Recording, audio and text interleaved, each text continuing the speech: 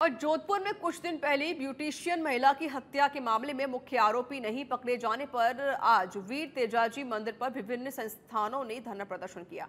विभिन्न संस्था के पदाधिकारियों ने बताया कि एक महिला की निर्मम हत्या के बाद मुलजिम फरार हो जाता है। चार पाँच दिन बाद में भी मुलजिम का कोई अता पता नहीं है, जिस वजह से लोगों में आक्रोश देखने को मिल रहा है। तो पुलिस ने गुलामुद्दीन की पत्नी को भी गिरफ़्तार किया है, जिससे पूछताछ में कई राज खुले हैं। उसके साथ कई व्यक्तियों को पुलिस ने हिरासत में ले लिया है। मामले को गंभीरता से देखते हुए पुलिस मुख्य आरोपी को ढूँढने के लिए टीम बना चुकी है और मुख्य आरोपी की तलाश अभी भी जारी है।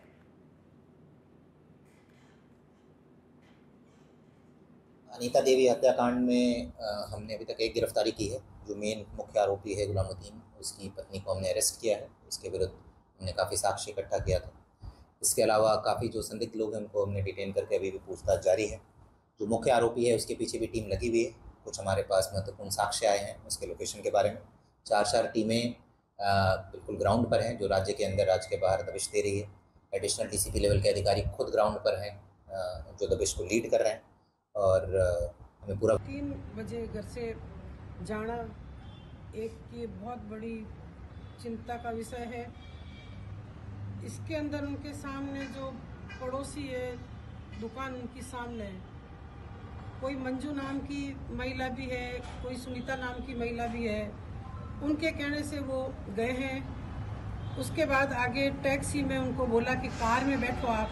कार में वो बैठे नहीं, कह नहीं, मैं मेरी टैक्सी से चलूँगी।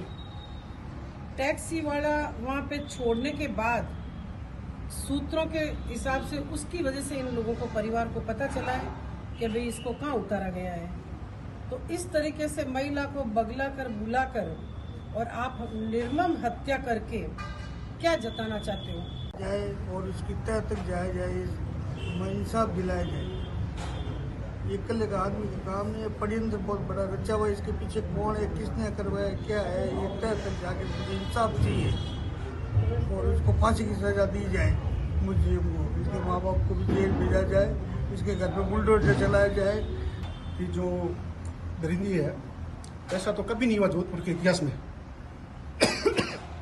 ऐसा तो कभी नहीं हुआ। तो इस प्रकार से मारने के बाद भी छह छह टुकड़ों में और दस फीट के ज़मीन में और ये पहले से योजना थी उसकी, पहले से योजना थी और दस टुकड़ों, छह टुकड़ों में उन्होंने किया ये ये इतिहास में पहली बार हुआ है। अनिता चौधरी जमीनी हत्याकांड को लेकर अभी हम लोग धरने पे बैठे हैं यहाँ वीर तेजा मंदिर के अंदर। आप लोग हैरान होंगे कि वीर तेजा मंदिर के अंदर धरना कैसा है। तो धरना इसलिए है कि सरकार की तानाशाही है, जो हमें मोर्चरी के पास में बैठने नहीं दिया, एम्स में बॉडी रख के पूरे हॉस्पिटल को लॉक कर दिया। और 24 घंटे अभी मतलब इस घटना का, जो मुकदमा दर्ज हुआ, उसके 24 घंटे के बीतने के बाद में पुलिस ये बता पाई टैक्सी में गई है। अगले 24 घंटों में जो अनिता जी के हस्बैंड है, उन्होंने जाके टैक्सी नंबर